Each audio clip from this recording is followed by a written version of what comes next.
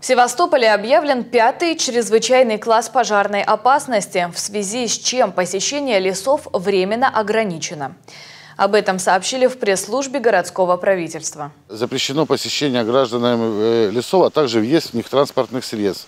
Проведение всех видов работ э, любыми учреждениями, предприятиями, организациями, независимости, независимо от форм собственности, не связанных э, с обеспечением пожарной безопасности, выполнением мероприятий по охране леса.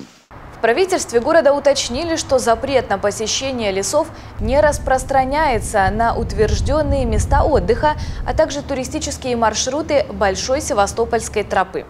В остальных местах нахождение пеших туристов и въезд транспорта запрещен.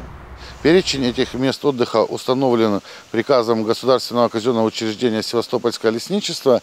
Он размещен на сайте Департамента природных ресурсов и экологии города Севастополя. Размещен он с помощью ресурса э, Яндекс.Карты. На них отмечены места, где в настоящее время гражданам э, разрешено пребывание.